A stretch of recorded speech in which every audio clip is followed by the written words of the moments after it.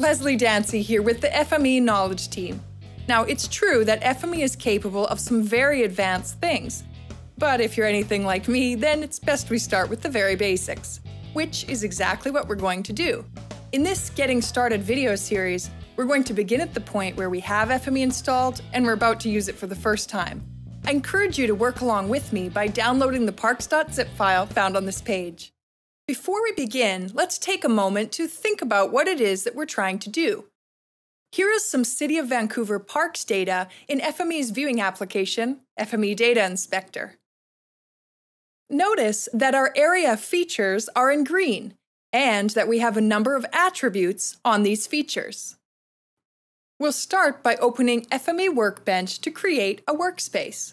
This will allow us to translate the parks data to GML, modify its attributes, and reproject the data. There's no time like the present so let's get FMEing.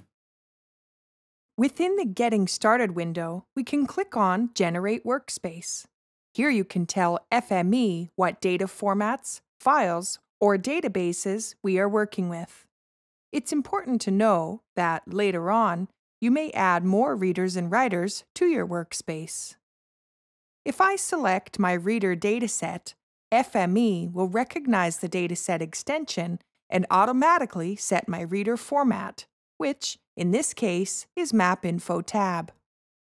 For my output writer dataset, if I type GML, FME will prompt me with a list from which I may select the format I want. In this case, Geography Markup Language. I can also click the drop down list arrow, which will show me the last 10 formats that I have used.